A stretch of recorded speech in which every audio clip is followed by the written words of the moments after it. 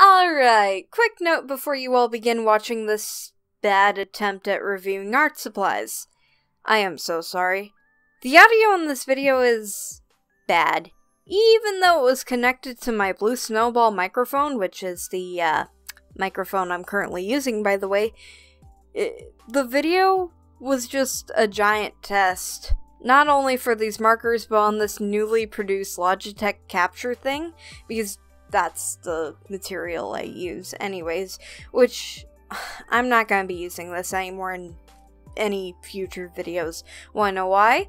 Because I like you guys and I want you to enjoy my work.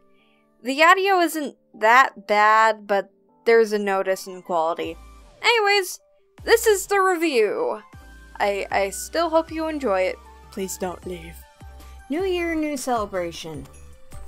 And now that I'm back from my vacation, we are going to be looking at these knockoff uh, markers that my mom bought, thinking that one, it would be just the case, and two, well, you know, there wouldn't be any markers in it. Boy, was she wrong.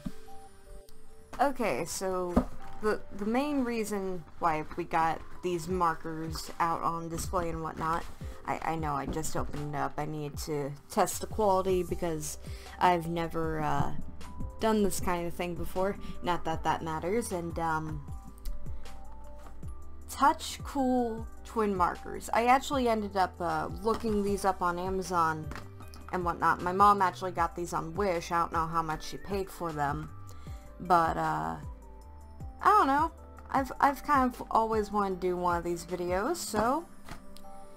Touch Cool Markers. It, it comes with, like, the bullet nib, as you can see in Pastel Violet. Ooh, how fancy. I actually like, you know, the, names on these, but I have no idea what to expect. Um, I, I looked them up on Amazon these should be good markers because they were like 50 bucks, but I, I once again, I have absolutely no idea how much my mother paid for these on Wish. I, I told her apparently, like, you know, I just wanted Copic markers because, you know, I, I love me my Copics. and, um, th this actually came in a good variety. At least it came with the case to, you know, carry in, like, you know. Um, and it also came with uh, this. It, it, came with a swatching paper for, I, I don't even, I can't read.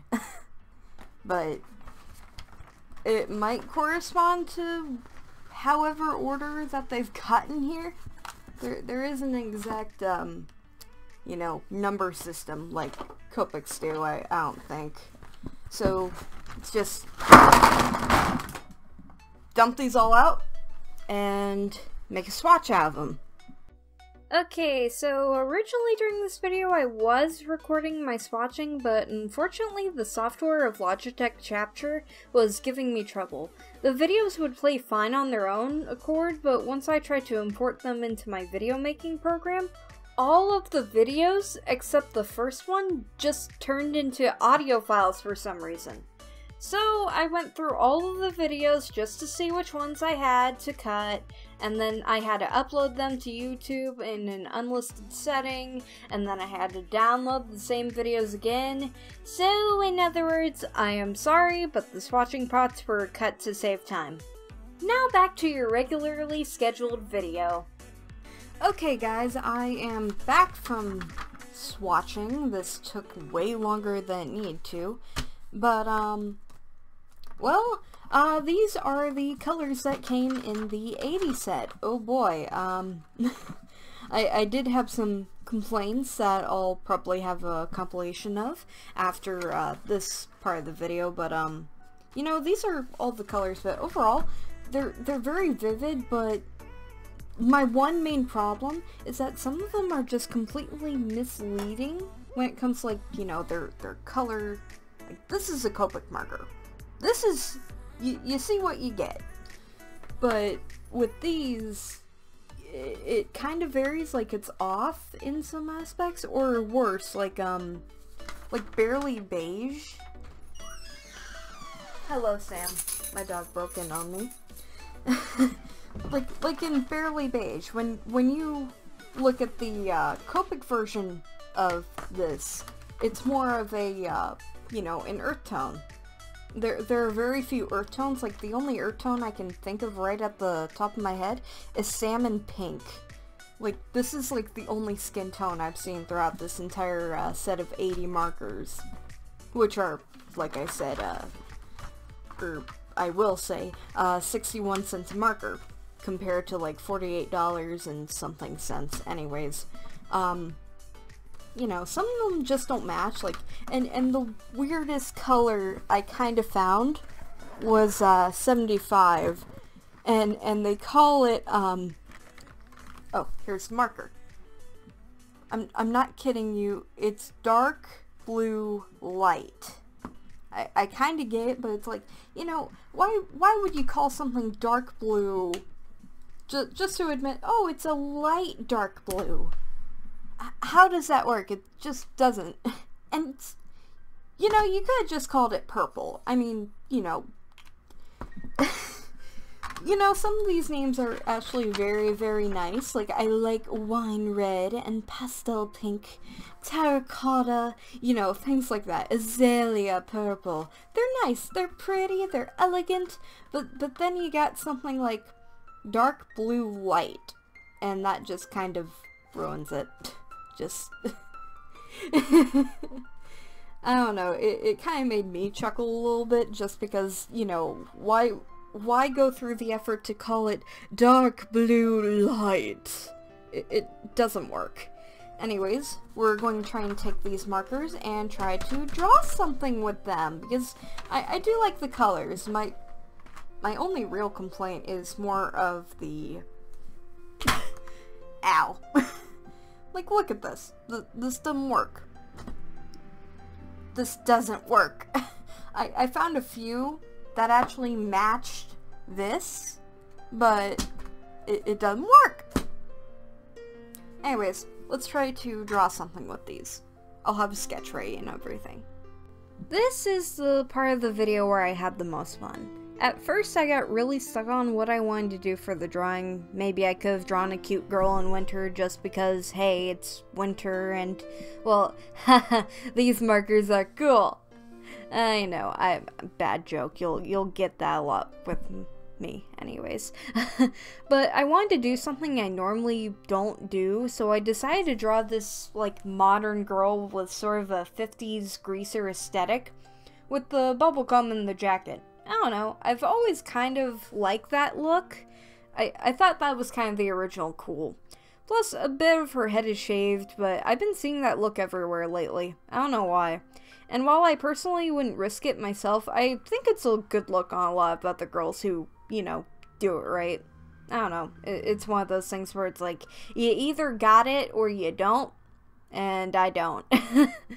Anyways, Markers, we're talking about markers, Christy. Anyways, I, I've been kind of ADD when it came to describing them, and what I've concluded is, well, I actually noticed design-wise, one positive, they don't roll away easily, but you can tell that the production value wasn't put through enough quality control. Because most of the broad tips I found were placed in randomly. I, I never talked about it, but some of the bullet nibs had also this range from being super soft and juicy to hard and scratchy. I, I did like the barrel though. It's a barrel that won't roll off the table and you know what? That's nice. I like that. You you may have noticed also that like part of the lighting has kind of changed, and that was due to well, I I kind of hated having to adjust the lamp and trying to make sure that none of the shadows show through in my hands and whatnot. So I just put them through my overhead light, like you know it. It kind of shines above. There's hardly any shadows except in certain cases, but it kind of worked out in my favor. Like, I can even, like, record at night if I want to, like, to, uh, do all that. So, anyways, I'm kind of proud of this drawing. I mean, I wish... One thing I really need to learn when it comes to, uh, traditional art, I need to make my heads less big. Like, I make my heads way too big when I draw. like traditionally. Mostly because I notice these type of things um, when it's too late. Like, when I'm drawing digital, I can easily just adjust the size and keep the same shape. You can't do that with traditional. It's basically you're in or you're not. You're, you're all in or, yeah. Anyways. But, I don't know. I, I need to get better at that in the future, just like I'm hoping to get better at, you know, doing YouTube videos again. I mean, it has been a long time. Anyways, uh, I guess I'll let you guys watch the rest of the speed paint, or I don't even know. I am not keeping track of the recording while I, uh, record my audio, so, hey, maybe I'll just jump over to the next thing. Anyways.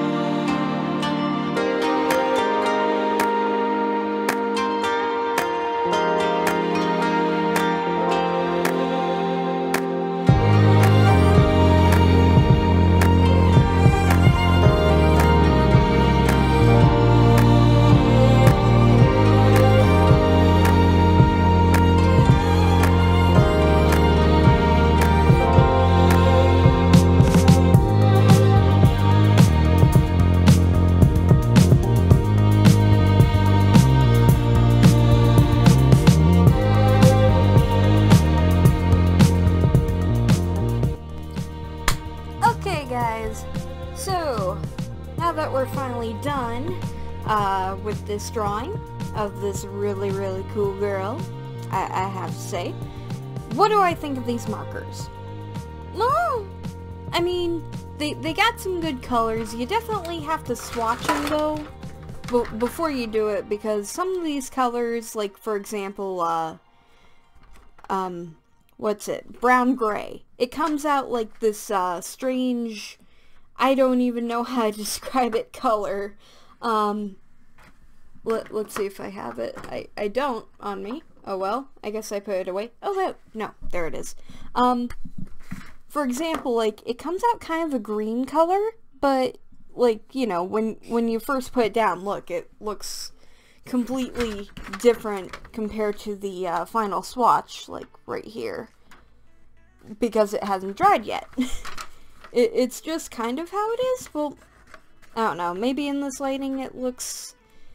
But either way, it's more of a greenish color. It probably doesn't come out well on, uh... Well, kind of looks good on the camera, though. Um... You definitely swatch these, though, because it might look different in, like, different lighting. I don't know. I use daylight light bulbs. Um... but as for a, um as for marker as a Copic alternative, like, if you're just getting these for, like, someone who just wants to try out some good markers, wants a twin tip, um, if they've got, like, the patience to, like, you know, like, break out out of these tough, uh, cased markers, then, you know what, go for it. I mean, if, if you can't afford Copic, then, you know what, I say these are pretty good. like, you know, they're not they're not terrible. I mean, the colors aren't bad. It just it kind of bleeds easily, so you may want to put down like something to uh like, you know, kind of cover up and protect your pages because like look at this. you can see like right through the colors and whatnot and this right here, like especially when you're trying to blend, I didn't blend for uh this tutorial only for the sake of my sanity. That and I, I like to blend with the brush tip. Brush tip. So I, I know that Copics uh, work pretty pretty good like when it comes to uh, layering. Like, you know, you can hardly see that color on this one, but in reality.